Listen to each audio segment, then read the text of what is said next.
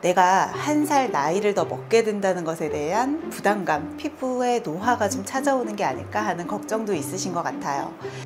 생각보다는 좀 할만한 것 같아요. 들어가니까 괜찮아 보이죠. 1년 동안 누적시킬 수 있거든요. 사은품이 꽤 빵빵하거든요. 안녕하세요. 가정의학과 전문의 민혜연입니다.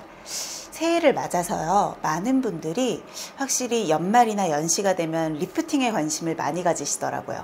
내가 한 살 나이를 더 먹게 된다는 것에 대한 부담감 또는 확실히 나이가 드니까 좀 더 내가 처지나 피부의 노화가 좀 찾아오는 게 아닐까 하는 걱정도 있으신 것 같아요.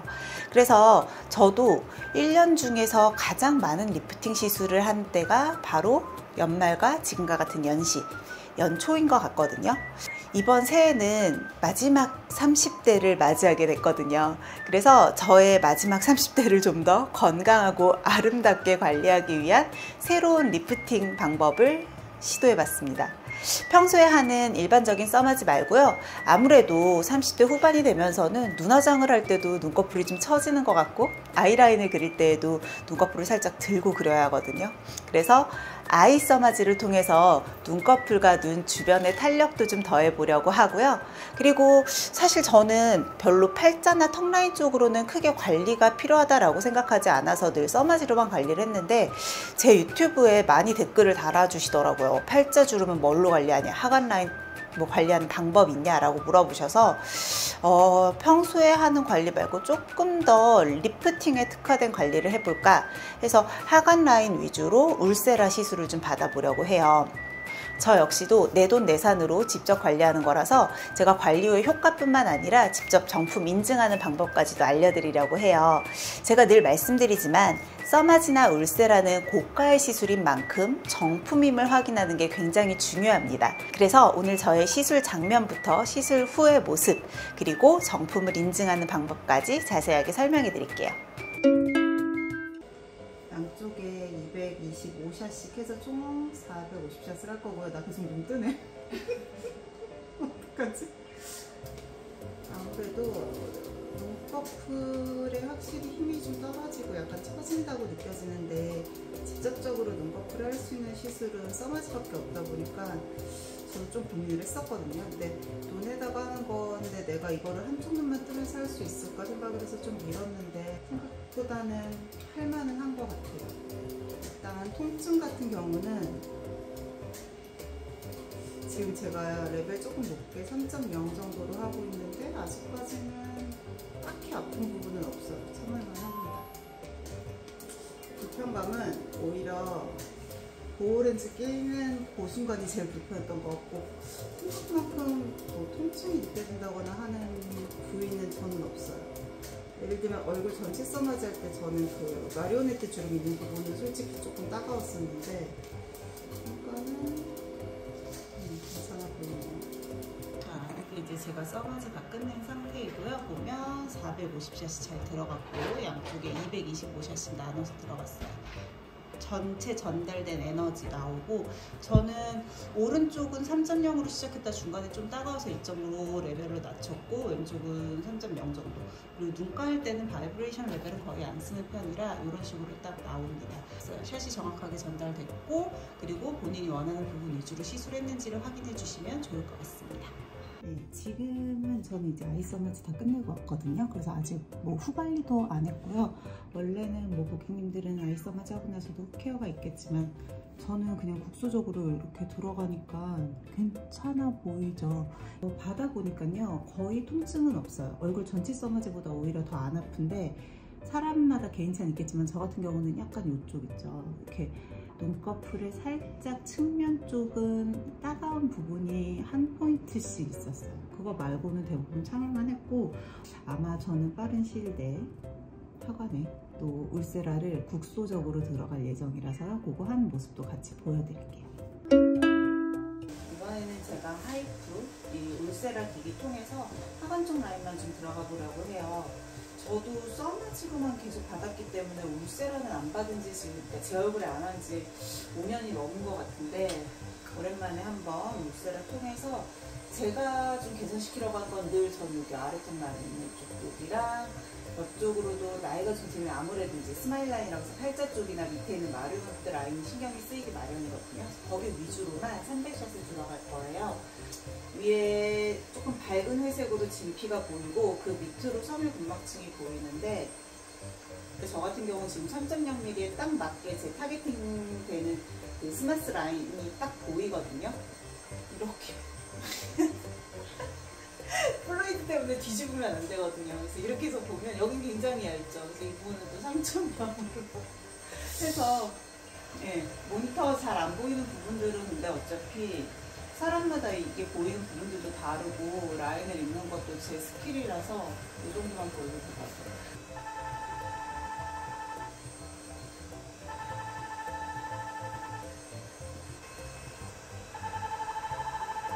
아, 지금 되게 기괴하지? 옆으로 눕혀서. 이 생각을 못했어. fluid 때문에 뒤집으면 안 된다는 거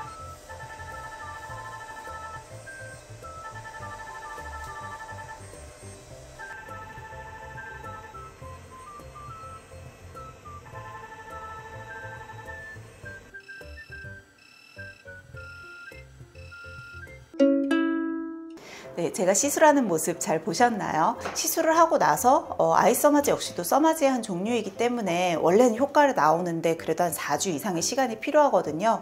근데 한 1, 2주 정도만 경과했을 때에도 주변에서 어, 눈이 좀 땡그레졌다 라는 이야기를 해주셔서 어, 그래도 내가 열심히 시술을 한 보람이 있구나 라는 생각을 했거든요. 써마지는 그게 원칙이에요. 환자 앞에서 시술 이 박스를 개봉을 하고 그 안에서 팁을 잘라서 직접 컨택하는 모습까지 보여드리거든요. 그래서 보통 보면 이렇게 정품 박스 위쪽에 이렇게 스티커가 있어요. 정품 숫자 인증 번호까지 같이 나와 있는 요 스티커가 있는데 이걸로 정품을 확인을 할 수가 있고요. 이게 기존에 있는 써마지 정품 인증서인데 사실 써마지사가 어, 너무 본인들의 인증서를 좀 카피를 한다거나 하는 경우들이 많다라고 요번에 인증서를 바꿨어요. 그러니까 여러분들은 아마 기존에 있는 요 인증서를 받아보실 수도 있고 요 새로운 인증서를 받아보실 수도 있을 것 같아요. 두 가지 모두 정품 인증서입니다. 차이점은 제가 아까 보여드렸던 이 정품 인증번호가 적혀 있는 하얀 동그란 스티커를 떼서 직접 붙여드리는 거예요. 여기서 정품 인증 바로 가기로 누르셔서 정품 인증을 하게 되면 소정의 사은품도 같이 나가게 됩니다. 그리고 울세라 같은 경우도 어, 저는 울세라를 지금 거의 한 5, 6년 만에 되게 오랜만에 받았거든요. 그래서 300샷만 받았고 3.0mm 그리고 4.5mm의 핸드피스 두 가지를 사용을 했고요. 제가 분명히 5년 전에 받았을 때는 좀 이렇게 찌릿찌릿하고 약간 치과 그 신경치료 받는 느낌 때문에 그 기분이 좀 나빴던 것 같은데 이번에는 별로 불편하지 않게 잘 받았어요.